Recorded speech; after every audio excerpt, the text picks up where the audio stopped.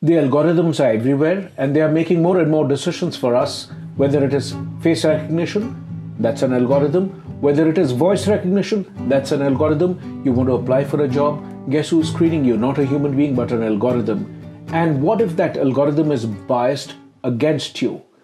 Then, in which case, you have a problem. Without that face recognition, the door handles cannot open or the phone cannot get unlocked. If it is voice recognition, it doesn't recognize high pitched voices like that of kids. Or if it is gesture recognition, it sometimes does not recognize the gestures made by the elderly or the women.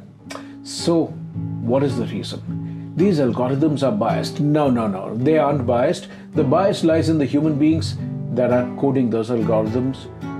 What do we do about the algorithms? Nothing.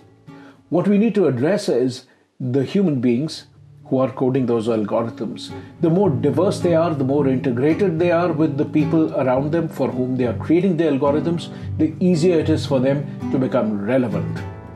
So don't forget to read this article that tells you how do you go about doing this.